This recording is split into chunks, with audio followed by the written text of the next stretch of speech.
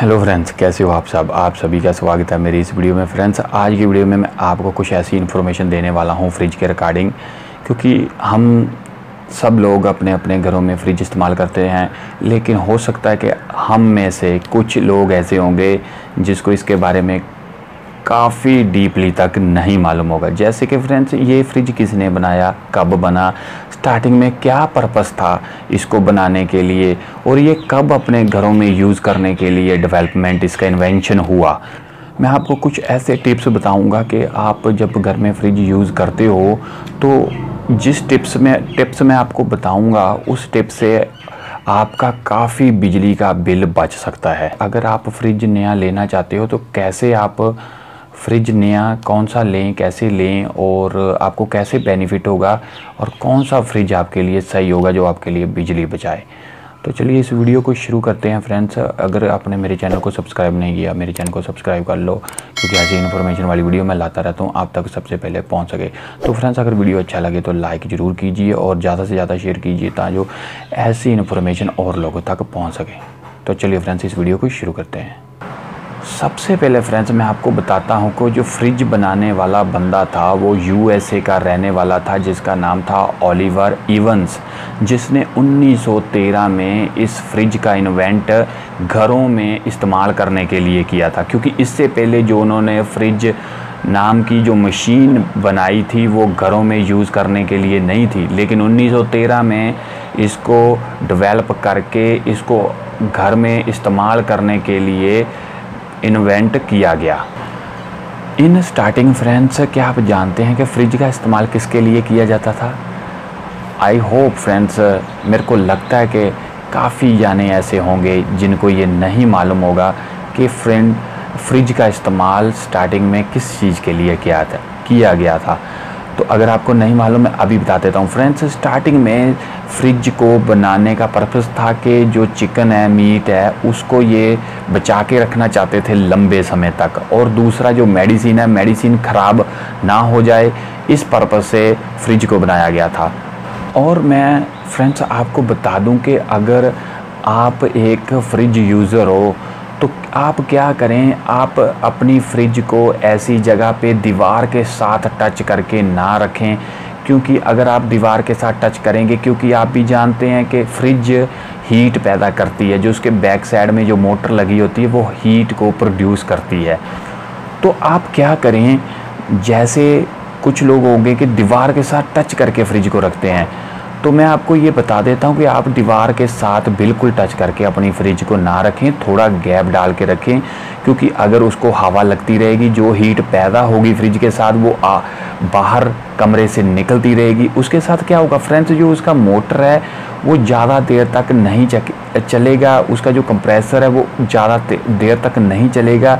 जिसके साथ क्या होगा सीधा सीधा आपका बिजली का बिल बचेगा, अगर उसका हीट टाइम टू टाइम बाहर निकलता रहेगा और वो बहुत ही जल्दी अपना काम करके इनसाइड जितना आपने टेम्परेचर रखा होगा अंदर थर्मोसेट का, वो उतने टेम्परेचर पे आके उसका कंप्रेसर जल्दी ही बंद हो जाएगा। और कोशिश करें फ्रेंड्स कि अपनी जो फ्रिज है, ऐसी जगह में ना रखें जहाँ पे काफ़ी हीट पैदा हो रही है या सूरज का रोशनी आ रहा है। उसको आप कोशिश करें कि थोड़ा सा अंधेरे में अपनी फ्रिज को रखें, क्योंकि अगर वो अंधेरे में थोड़ा सा रहेगा और उसको कूल जगह पे रखें, थोड़ा अंदर कमरे के ऐसी जगह में रखें जहाँ कमरा आपका ठंडा हो थोड़ा तो उसके आपको काफ़ी सारा बेनिफिट होगा जो सीधा सीधा अफेक्ट करेगा आपके बिजली के बिल के ऊपर। आपका काफ़ी सारा बिल बच जाएगा और फ्रिज बहुत ही आसानी से अपना काम करके कूलिंग करती रहेगी। क्या फ्रेंड्स आप जानते हैं कि हम जब भी कोई चीज़ रखते हैं, चाहे वो आटा हो, चाहे कोई सब्ज़ी हो, फल, फ्रूट हो या क्यों, ये सब सूखना क्यों शुरू हो जाता है? आप में से काफ़ी लोगों को मालूम होगा कि ये सूख जाता है। कुछ भी कोई फ्रूट रखते हैं, जैसे लेमन रखेंगे, लेमन सूख जाता है, उसके अंदर थोड़ा सा भी पानी नहीं बचता अगर हम लंबे समय तक रखेंगे। अगर हम मान लो रोटी बनाने वाला आटा रखते हैं गूंद के तो क्या होता है ऊपर वाला जो आटा होता है वो पूरी तरह सूख जाता है? क्या आप जानते हैं ऐसा क्यों होता है? क्योंकि फ्रिज एक कैसे काम करती है? आप जानते हैं फ्रिज के अंदर बर्फ़ कैसे आ जाती है? हो सकता है आप में से काफ़ी लोग होंगे जिनको नहीं मालूम होगा। तो मैं आपको अब बता देता हूँ। फ्रेंड फ्रेंड्स जो फ्रिज है फ्रिज को बनाया ही इस प्रकार से गया है कि जो फ्रिज के अंदर हम फ्रूट या कोई पानी या कोई ऐसी चीज़ें रखेंगे खाने पीने वाली जिसमें पानी होगा, वो क्या करेगी? फ्रिज उसको सोख के जो हमने चीज़ फ्रिज में रखा होता है, वो सूख जाता है तो वो पानी को निचोड़ के उसी से वो अंदर बर्फ़ पैदा करती है। और मैं आपको बता देता हूँ फ्रेंड्स आप कहीं भी सर्च कर लें, चाहे गूगल में, चाहे किसी भी प्रकार से, हो सकता है आपको इन्फॉर्मेशन मिल जाए, हो सकता है नहीं भी मिले, लेकिन मैं आपको बताना चाहता हूँ फ्रेंड्स अगर आप कोई भी चीज़ फ्रिज में रखते हैं ना, जैसे कोई सब्ज़ी हो या कुछ भी, उसको ढक के रखें, किसी डब्बे में, प्लास्टिक के डब्बे में, या कैसे भी उसको ढक के रखें, ता वो चीज़ थोड़ा सा फ्रेश रह सके, उसके अंदर जो नमी है, पानी है या जूस है, वो सूखे ना। और फ्रिज में रखी गई हर चीज़, जैसे उसमें जो भी उनके अलग अलग तत्व होते हैं लग लग उसमें साल्ट होते हैं, जैसे सेब का साल्ट अलग है लेमन का अलग है, आटे का लग है, उसमें कुछ दवाई रखी, उसका अलग है। तो वो क्या करती है, फ्रिज सब साल्टों को मिक्स कर देती है। कभी कभी क्या होता है, आप भी, आपकी फ्रिज में से कुछ अजीब सा खुशबू, बदबू, ऐसे आना शुरू हो जाता है। वो क्यों होता है? क्योंकि वो सब मिक्सचर जो साल्ट होते हैं, उसको मिक्स कर देती है।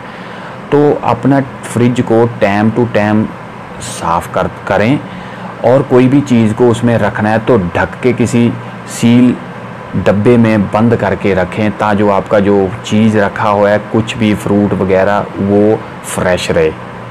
और एक बात का ध्यान और रखना फ्रेंड्स कि आपने देखा होगा कि कभी कभी क्या होता है कि हमारी फ्रिज में बर्फ़ बहुत ही ज़्यादा मोटी परत में जम जाता है तो वो हमको जमने नहीं देना है, उसको डीप रोस्ट कर देना है। कब? तीन M M three M M से ज़्यादा बर्फ़ जमने कभी नहीं देना आपने। नहीं तो आपका बिजली का बिल बढ़ जाएगा। क्योंकि अगर आपका तीन एम एम से बर्फ़ ज़्यादा उसमें जम जाएगा तो वो क्या होगा?